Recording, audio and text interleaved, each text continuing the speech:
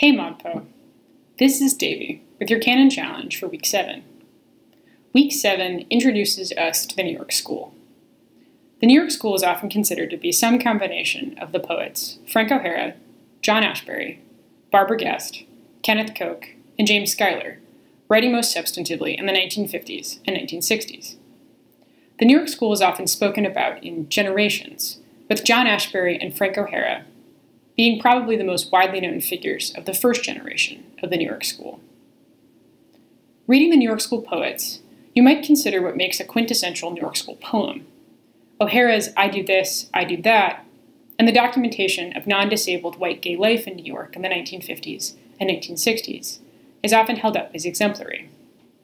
Consider, for example, a stanza from the poem The Day Lady Died. And for Mike, I just stroll into the Park Lane liquor store and ask for a bottle of Strega. And then I go back where I came from to 6th Avenue and the tobacconist in the Ziegfeld Theater and casually ask for a carton of Gauloises and a carton of Picayune and a New York Post with her face on it. In our approach to the New York School, the majority of the poets in this week take the anecdotal, autobiographical, and urban documentarian impulse of the New York School and apply it to many different contexts, seeking to contribute to the style associated with the New York School, while reconsidering and resisting its normative expectations of gender, race, and ability.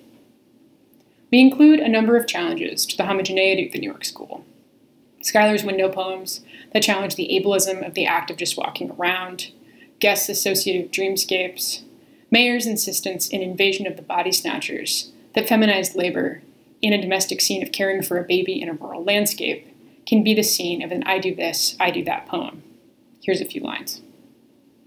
The time for dinner is too early now. The time for sunset comes too soon.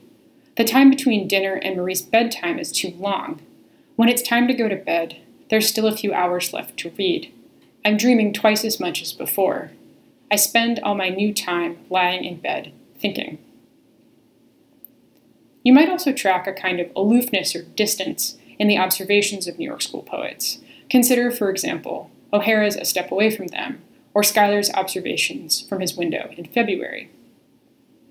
We also have two contemporary poets' responses to Frank O'Hara Hanif Abdurraqib's USA v. Cuba, and Patrick Rosal's Uptown Ode that ends on an ode to the machete, which give us a contemporary framework for continuing to question the whiteness and upper middle class point of view offered by O'Hara's writing.